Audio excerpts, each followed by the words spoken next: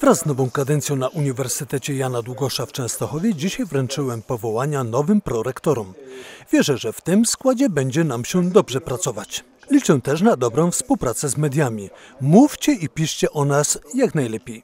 Zachęcał dziennikarzy profesor Janusz Kapuśniak.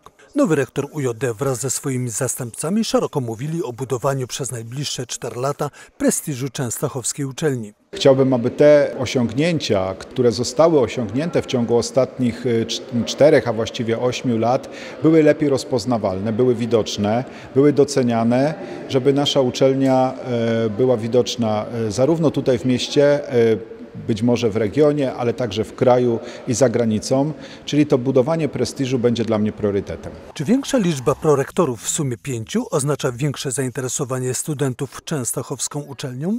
W naszej uczelni akurat y, aż tak bardzo nie odczuwamy y, tego niżu demograficznego, ponieważ z roku na rok y, liczba studentów może nieznacznie, ale w każdym roku rośnie.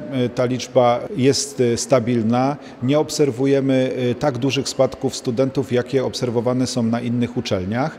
Oczywiście jest to też wynik tego, że zwiększamy ofertę dydaktyczną. Otwarliśmy te kierunki, które są jakby najbardziej poszukiwanymi, najbardziej pożądanymi przez y, absolwentów szkół średnich.